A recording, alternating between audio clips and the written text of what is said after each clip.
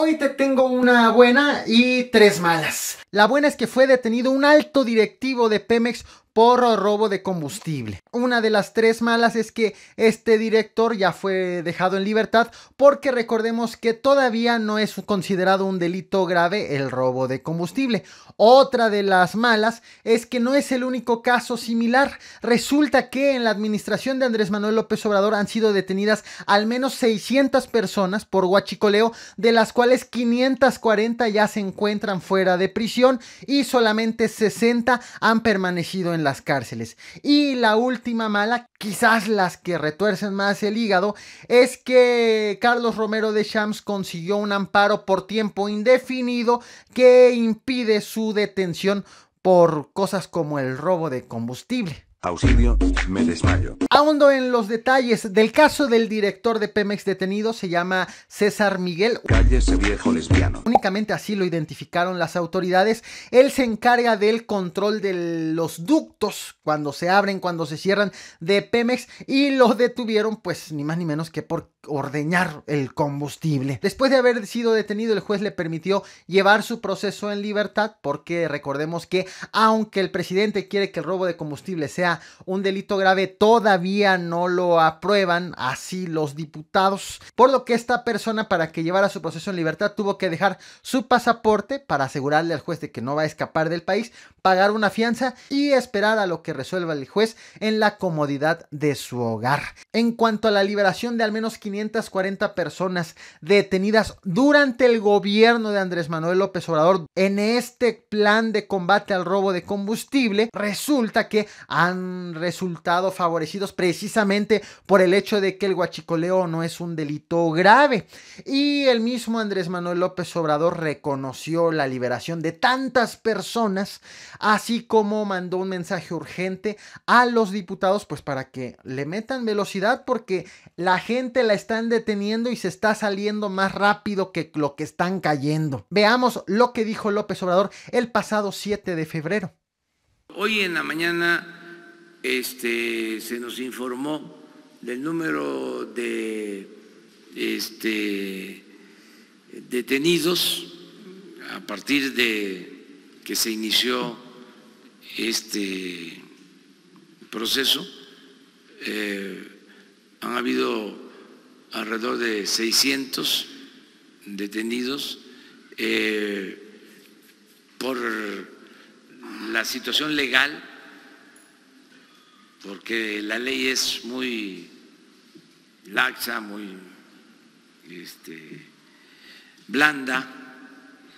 Eh, por eso la reforma que está en el Congreso, aprovecho para hacer el exhorto, la convocatoria, la invitación a los legisladores que ya aprueben las reformas, este, para que sea delito grave, solo se han podido mantener eh, alrededor de 60 este, presuntos responsables o culpables del robo. Ese fue el informe que nos entregaron el día de hoy. Pero eh, hay muchas denuncias presentadas, abiertas, más de 200 nada más eh, en este periodo de enero y lo que va de febrero. Más de 200 denuncias presentadas en la Fiscalía General y se les va a dar a todas seguimiento.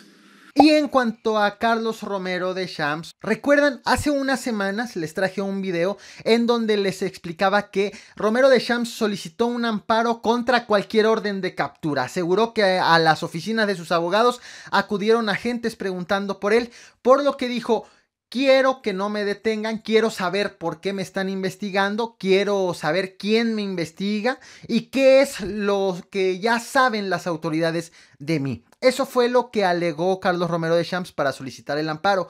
Sin embargo, como no supo acreditar ante el juez qué autoridad es la que lo estaba investigando, el juez decidió no darle el amparo.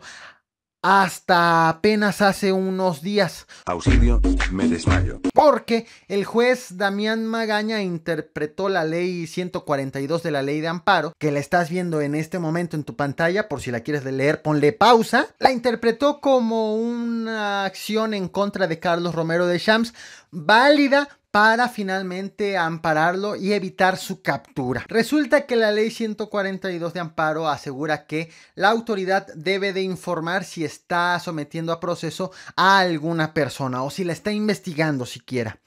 Pero aunque la Policía Federal, aunque muchas instancias han asegurado que no están investigando a Carlos Romero de Shams, el fiscal general de la República, Alejandro Hertz Manero, y el centro penitenciario de Almoloya, pues no respondieron, no dijeron si hay una investigación en su contra o no.